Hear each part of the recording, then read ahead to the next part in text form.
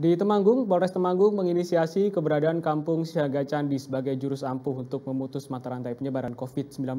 Bahkan program yang diluncurkan di lebih dari 200 desa itu juga dilakukan untuk meningkatkan ketahanan ekonomi sosial di tingkat masyarakat desa.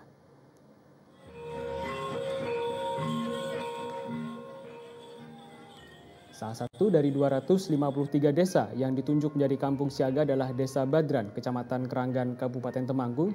Dan Kasat Binmas Polres Temanggung, Ibtu Sri Suryani mengatakan kesadaran dan keguyuban warga desa melakukan upaya pencegahan penyebaran COVID-19 ini. Dimulai dari pengecekan suhu tubuh, penyediaan ruang isolasi, pembagian sembako, dan bahan pangan. Selain itu juga dilakukan penyediaan vitamin, sayur, dan lauk pauk guna meningkatkan imunitas warga. Tidak hanya itu, warga juga berdaya mandiri secara ekonomi dengan mengembangkan usaha UMKM, peternakan, dan perikanan. Selain mendorong partisipasi aktif masyarakat, diharapkan konsep kampung siaga candi ini bisa memproteksi diri dan lingkungan.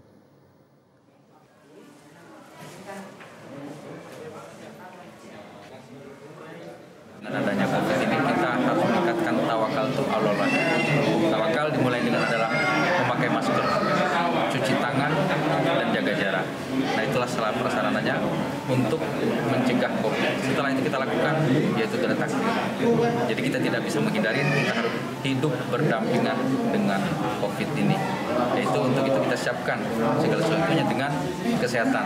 Nah mungkin dengan program yang ada ini, desa kita terpilih paling tidak kita akan menjadi contoh desa yang lain dan akan mengimplementasikannya ke masyarakat tentang cara hidup sehat